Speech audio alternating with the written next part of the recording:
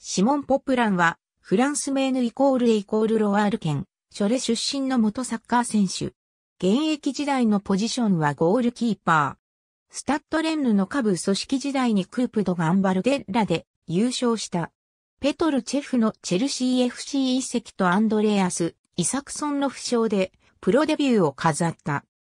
イサクソンがマンチェスターシティ FC に移籍後はクリストフルボーとの争いに勝利し、政治系を務めるも、トゥールーズ FC からニコラ・ドゥシェの加入で出番を失い、2008年7月1日にドイツの SC フライブルクに移籍した。フライブルクでは3シーズン在籍し、2シーズン政治系を務めた。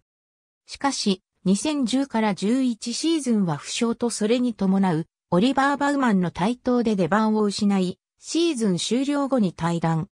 2011年7月1日、リーグアンに昇格したエビアントノン、ガイアール FC のトライアウトを受けるも、メディカルチェックで怪我が発覚し、契約には至らず。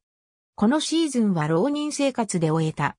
2012年6月21日、長年政治 k を務めてきたテディリシェールの後釜として FC 訴訟に移籍。2013から14シーズンを終えクラブのリーグ降格が決まった。